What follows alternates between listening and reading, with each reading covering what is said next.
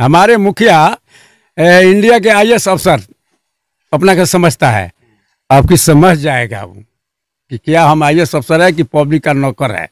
किसी वार्ड को काम दिया है उसी वार्ड के नाम पर काम कराया है जिसको नहीं बुझाता है उससे प- पैसा उठवाया अपने काम किया। हमसे पैंतीस परसेंट कमीशन का मांग किए और कमीशन नहीं देने का कारण हम लोग नली गली का पैसा नहीं डाले। पाँच साल में तो वो मतलब भ्रष्ट कर दिए कि अभी क्या बताएँ हम। चेंज करना है हम लोग को बिल्कुल चेंज करना है। नमस्कार मैं विजय कुमार और आप देख रहे हैं न्यूज़ फॉर लाइव पंचायती चुनाव का जैसे जैसे सरगमियाँ तेज हो रहा है नेताओं का भी दौरा तेज होते जा रहा है।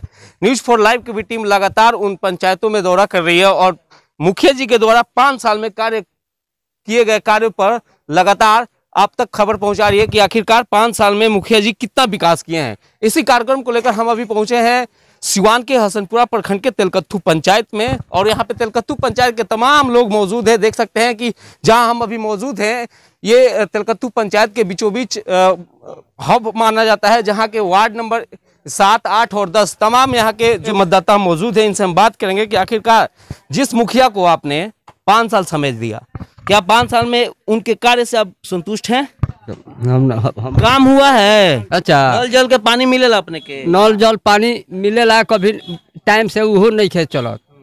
कोनो पानी से कोनो फ़ायदा बा? कुछ फ़ायदा नहीं है तो वह पूछा था नहीं कि मुखिया जी विकास के लिए संतुष्ट हैं आप? ये बताइए ना। कहाँ बाटे? संतुष्ट रहते आदमी भी तो रहते तो फिर चुनाव वोट देने का समय आ रहा है। क्या करिएगा? बदलाव के मूड में है? अब बदल जाइए मुखिया जी। बदल जी हैं। क्या के है अभी? राजेश ठाकुर ठाकुर। चलिए और भी मौजूद है। आप बताइए पाँच साल के इन कार्यक्रम पे मुखिया जी जो कार्य किए हैं उससे कितना संतुष्ट है? हम ही नहीं पूरा ये पंचायत के लोग संतुष्ट नहीं है। मुखिया जी के कारोबार से कोई संतुष्ट नहीं है। आज तक कोई आम सभा हम लोगों के सामने नहीं किए हैं। कि हम लोग संतुष्ट हैं। एक छठ घाट है एक नंबर वार्ड में।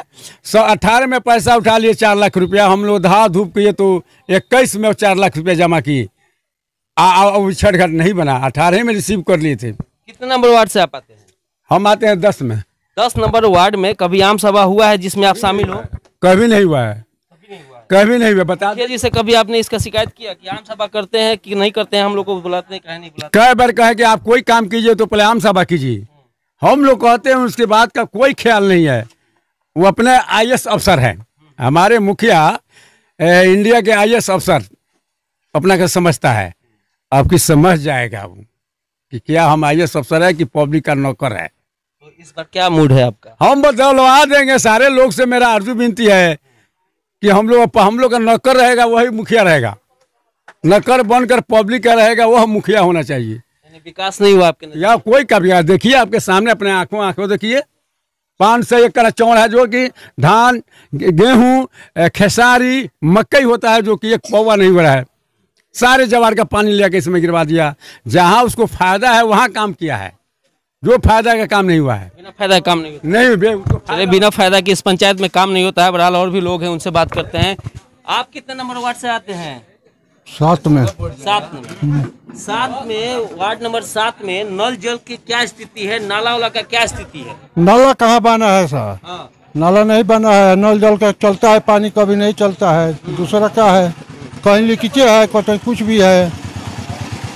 आपके नज़र में किस तरह का विकास होना चाहिए था? है? किस तरह का विकास होना चाहिए था? विकास का होना चाहिए कि जो काम हुआ जो अच्छा होना चाहिए नल जल का।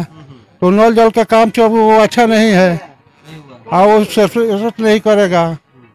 हम्म। और ये एक बात एक बात बताइए कि कभी आम सभा में आप शामिल हुए हैं? मुखिया जी की तरफ़ से चाहे वार्ड की तरफ़ से कभी आम सभा हुआ है? हम तो कभी तेलकथू में सुनते ही नहीं है कि आम सभा होता है। तेलकथू पंचायत में कभी भी तो सुना ही नहीं है कि आम सभा होता है। तो क्या इस बार क्या चाहते हैं? चुनाव नज़दीक है। अब पब्लिक सब चाहता है वही है विचार है। आप क्या चाहते हैं? हैं? हम लोग भी चाहते हैं कि वही बदलेगा। बदलेगा। चलिए बदलाव के मूड में है तमाम यहाँ पे जनता बहरहाल और भी लोग हैं इनसे बात करते हैं। चाचा आप यही क्या है? जी जी। क्या विकास हुआ है? कितना संतुष्ट है अपने मुखिया से? अपने मुखिया से विकास के मुद्दे पर तो हम कुछ संतुष्ट नहीं है। मुखिया कहता है कि हम गाँव के मुखिया है हम जो पंचायत में चाहेंगे वही हो। रंगदार है क्या मुखिया? मुखिया रंगदार है तभी ना हम ही को केस करने के लिए धमकी दिया।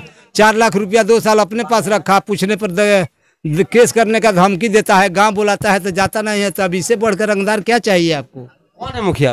राजेश ठाकुर। उसको उसको लेकर कभी आपने ब्लॉक स्तर पर गया इस शिकायत को करने के गया है हुआ है ब्लॉक स्तर से ना पैसा का कम्प्लेन हुआ कि दो दो साल पैसा निकले हुए हुआ बिका छठ घाट नहीं बना।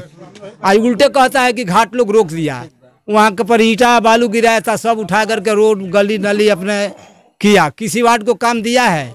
उसी वार्ड के नाम पर काम कराया है जिसको नहीं बुझाता है उससे प- पैसा उठवाया अपने काम किया। जो जानता है कि वार्ड का काम हम कर लेंगे किसी वार्ड को पैसा नहीं दिया है। गली नली पंचायत ऐसी योजना में है ना आप लोग तो जानते हैं किस वार्ड को दिया है काम करने के लिए कि आप गली नली के या कोई काम कर लीजिए। नहीं हुआ है। आप बताइए क्या नाम है आपका? हमारा नाम रामाशंकर मिश्रा है। हम मिश्रा जी बताइए कि कितने नंबर वार्ड से आते हैं? हम वार्ड नंबर तीन का वार्ड सदस्य। कितना विकास हुआ है? मुखिया जी कितना विकास किया वार्ड नंबर तीन? वार्ड नंबर तीन में एक ठो सिर्फ़ हमको नल जल का काम दिया गया जिसको पूर्ण रूप से सुचारू रूप से अभी चल रहा है अपना। पूरे पंचायत में आठ वार्ड में मुखिया जी अपना हाथ से काम कराए। आपसे कमीशन भी मांगे थे? जी। कितना हमसे पैंतीस परसेंट कमीशन का मांग किए। और कमीशन नहीं देने का कारण हम लोग नली गली का पैसा नहीं डाले जिस कारण कार्य बाधित रहा। पैसा बिहार सरकार को लौटा दिए मगर पंचायत में खर्चा नहीं किए। और जल जीवन हरियाली से पूरे पंचायत में जल जीवन हरियाली कागज़ में खान खानदा पूर्ति कर दिए हैं। कहीं बाकी नहीं है।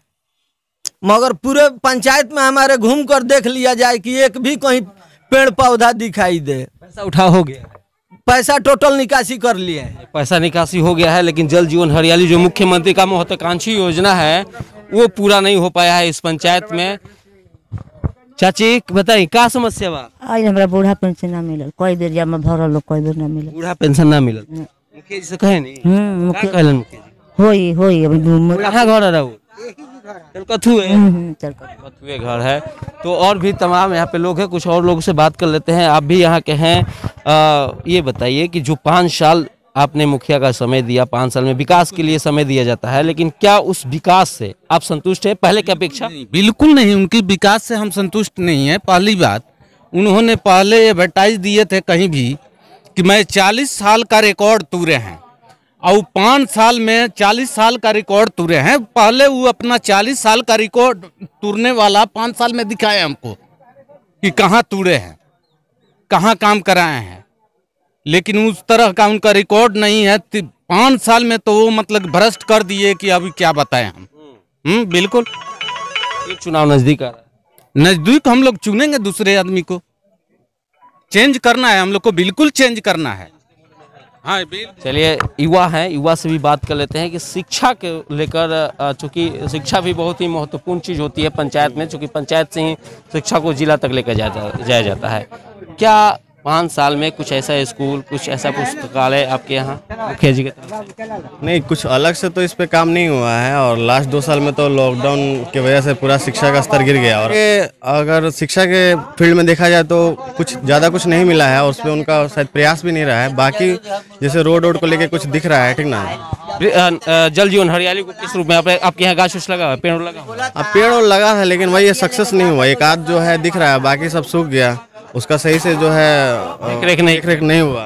बिल्कुल हमने तमाम लोगों से बात किया। साफ़ तौर पे लोगों का यही कहना है कि इस पंचायत में जो विकास होना चाहिए वो विकास नहीं दिख रहा है। यहाँ तक कि कुछ लोगों ने तो ये भी कह दिया कि जो मुख्यमंत्री का महत्वाकांक्षी योजना है नल जल योजना और जल जीवन हरियाली उसका भी पैसा उठाव कर लिया गया है लेकिन धरातल पर वो नहीं है। बहरहाल, अब देखना ये होगा कि फिर जो चुनाव आने वाला है, इस पंचायत की जनता किसको अपना मुखिया चुनती है?